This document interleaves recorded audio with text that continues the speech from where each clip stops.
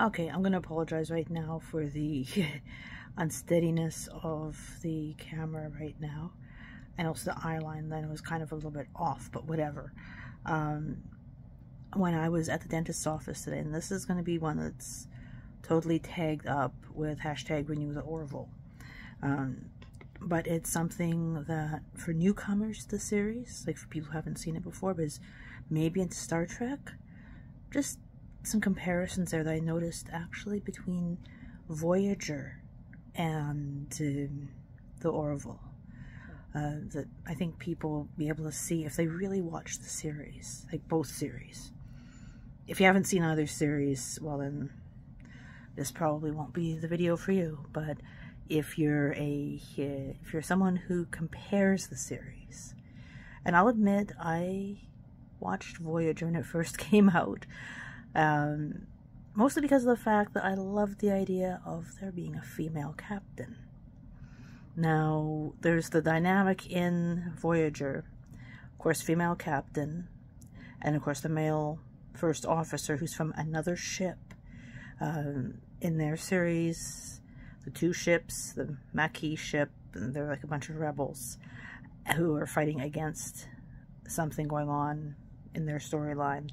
Uh, both ships are sucked 40,000 light years away from where they come from. And the Maquis ship is ruined. And the whole crew from the Maquis ship is brought on board Voyager.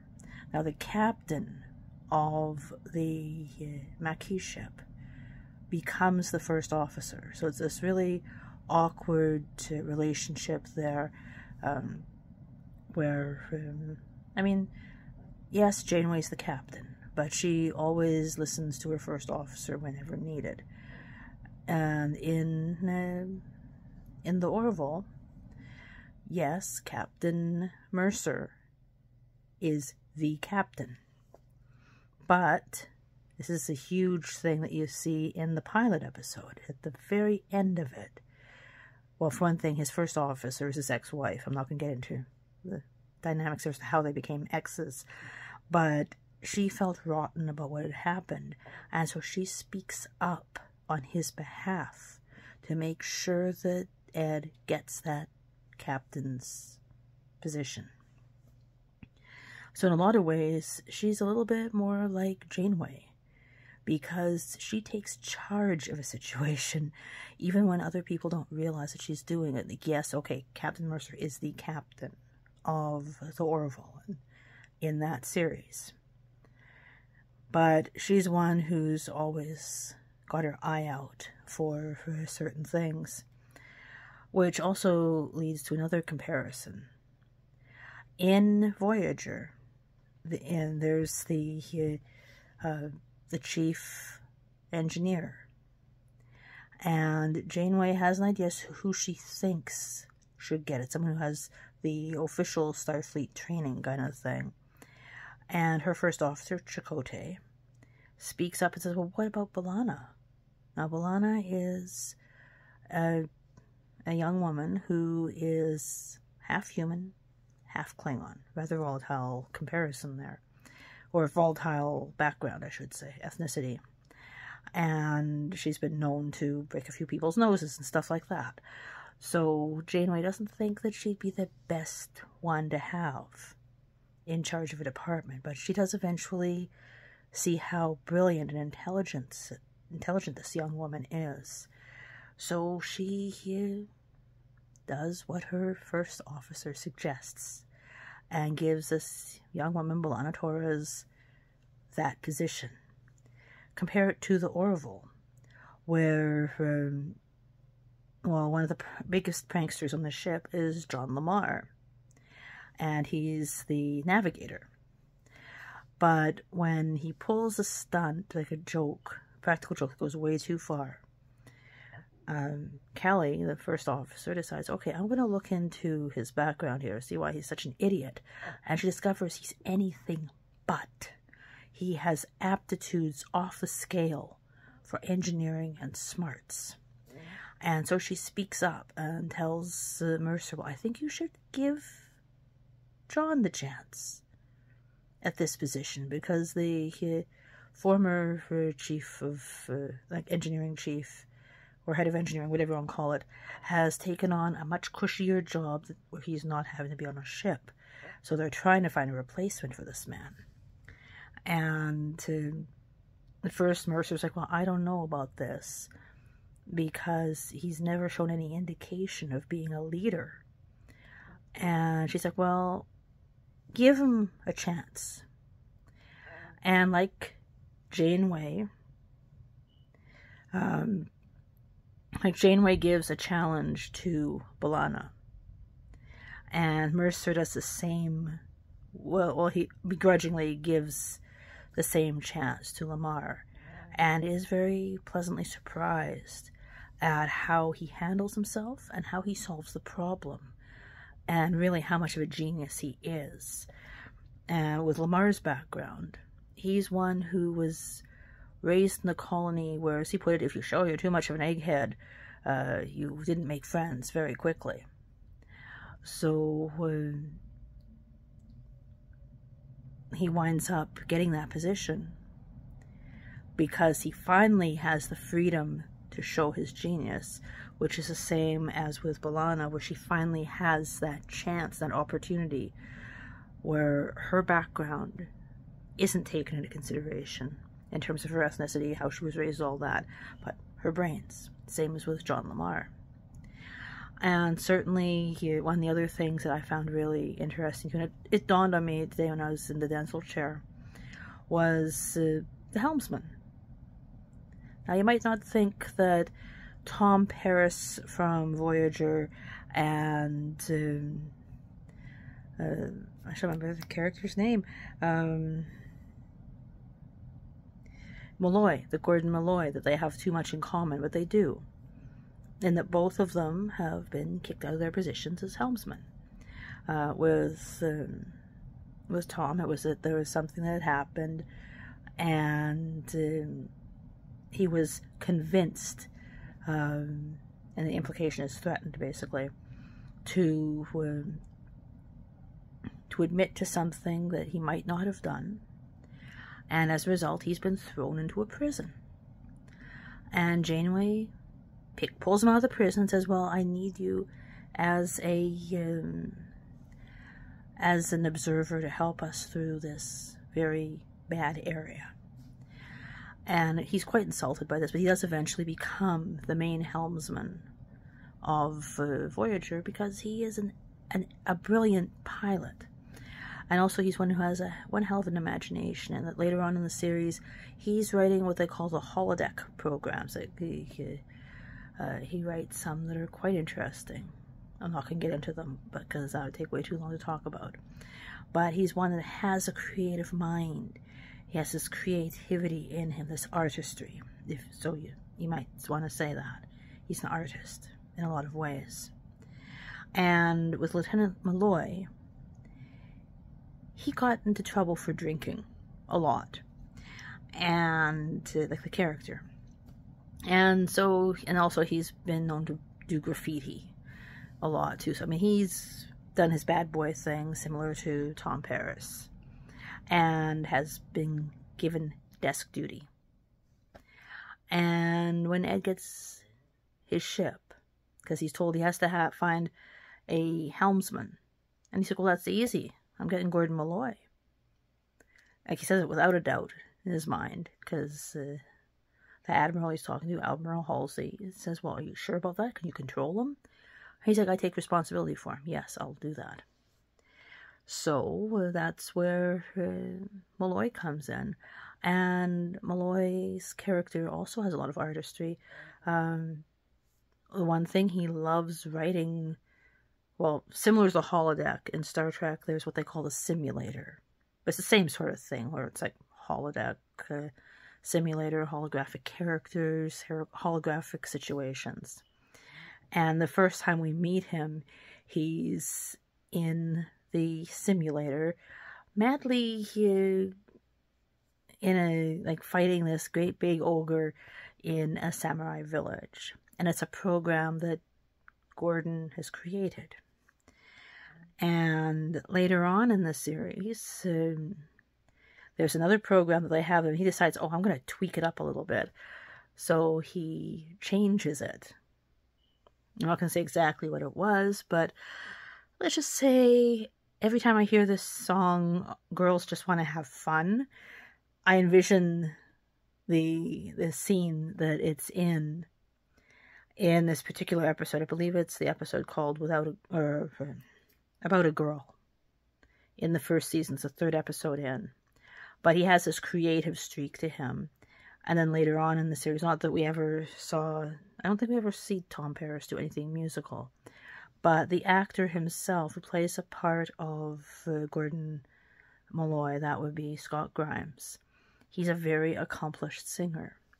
And so they've brought that into the character too, which is a brilliant idea. Um, but anyway, here, when you think about these, and I'm, I'm sure there's like a lot of other things too. Maybe even the shape of the ship is similar to uh, the one that they have, the Orville being um, kind of like a similar, almost aquiline, um, very, uh, very uh, slender ship. Um, looks very poetic in a lot of ways. And yeah, I mean, there's uh, there's different things there, and it's just interesting to see that. So, for any of you who are still on the fence about whether you want to watch this series or not, but if you've loved watching Voyager, which went on for seven years, I highly advise you to give the Orville a chance. Like, yes, the first season they threw a lot of comedy in there that wasn't necessarily needed, but that was because the bigwigs wanted it to be a comedy. And I mean, by the time you get to the third episode, you're like, this isn't funny. This is some serious stuff in the episode about a girl. And like they like started weaving the seriousness in. Like of course the first two seasons they were designed for television for Fox television. And so the each episode's around just over 40 minutes long. But when you get to the third season, which took about 2 or 3 years thanks to COVID to get filmed, that one was on Hulu. Hulu gave them a little bit more um, flexibility with designing the episodes, which meant that each episode is basically a feature length film. And this the tone in it is fantastic. Um, like very serious, as serious as most anything in uh, in Voyager, because Voyager, well, I mean, they had experienced writers, they had the money back of them, and they had the contract there already for being there for quite a few years. And the sad thing right now with the Orville is it doesn't have that contract yet. I say yet because uh, there is, there have been rumors going about that there's a negotiation going on between Seth MacFarlane and Fuzzy Door Pictures, which is his company, and either Hulu or Disney Plus. And in all honesty, I mean, when there's other shows that they have on there that are already established that they're handing money to, like no offense meant to Doctor Who or anything. I mean, that one, by the way, was originally created by a Canadian. Um, but I mean, they're handing production funds to what they say is a proven commodity. And I just hope that by me putting this video up, that a few more people out there who watch or have seen Voyager give this series a chance. Like, yes, there's a lot of humor in there that's kind of crass and that. And um, Darulio, ugh, I do not like that character. But um, weird blue guy aside, um, I mean, there are some very brilliant elements in this series. Um, give it a chance. Watch it through Disney Plus or Hulu, whichever platform you have. But keep in mind that Seth MacFarlane himself, ever since he was a kid, was a huge fan of Star Trek. So, yes, it's going to have its influences from these different series. Um, I'm not even going to get into the comparison between Data and Isaac, and Lore and um, Kaylon Primary. I'm not going to get into those comparisons at all. Um, I could, but I'm not going to. Not this video anyway. But in any case, please give this show a chance. Think of these comparisons. If there's anything else you can see in there that's similar, we'll put it in the comments section here. And also, uh, don't be afraid to let other people know what you think about this series because it is good. It's very good, especially when you get to the third season. But you kind of have to watch the first two seasons because it is a series. There are elements in that first season, and I'm thinking especially of episode three about a girl that come into play in the second season and big time, big, big, big time in that third season where we uh, meet the child that the topic of conversation was about in about a girl. And it's quite a roller coaster but it's worth watching and certainly when you get to the episode of midnight blue if you're aware of the missing and murdered indigenous women and girls uh, problem that's been in existence, at least in Canada. I'm guessing it's probably in the US as well, and maybe even Australia. Uh, I don't know. But keep that in mind when you get to that episode because there's a lot of it. I mean, that, that's a beautiful thing about science fiction and the way it can make commentary on things that are going on now. Um, I mean, in season three, I mean, they hit on all these different things that are very relevant. Uh, like I said, missing and murdered Indigenous women and girls, uh, suicide, depression, uh, this sort of thing, gender identity. Uh, there's a lot of things in there that conventional television and storytelling can't really tell, but you have that science fiction element. You can tell these stories. And it gives the chance for these stories to be told. And that is something that's hugely valuable in today's societies. That have that chance to tell those stories.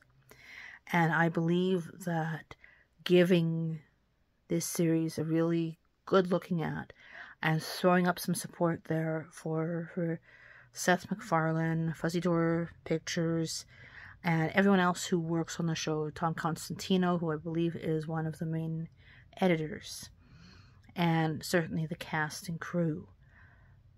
Give it a chance. But think about those comparisons I mentioned too between Voyager and the Orville.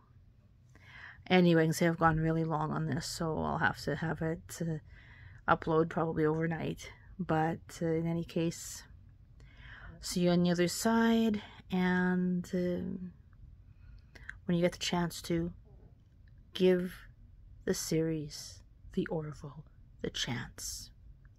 And if you can see how beautifully done it is, I mean, not just the storytelling, which is like, of course, the heart of it, but the other production value too, like you know the makeup, the costumes, um, the voices that are being used by the characters, because a lot of these actors are not necessarily American.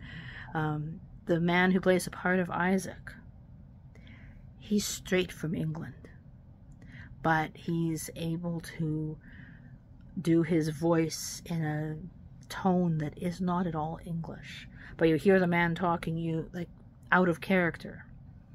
And you know he's from England. You can tell it by his voice.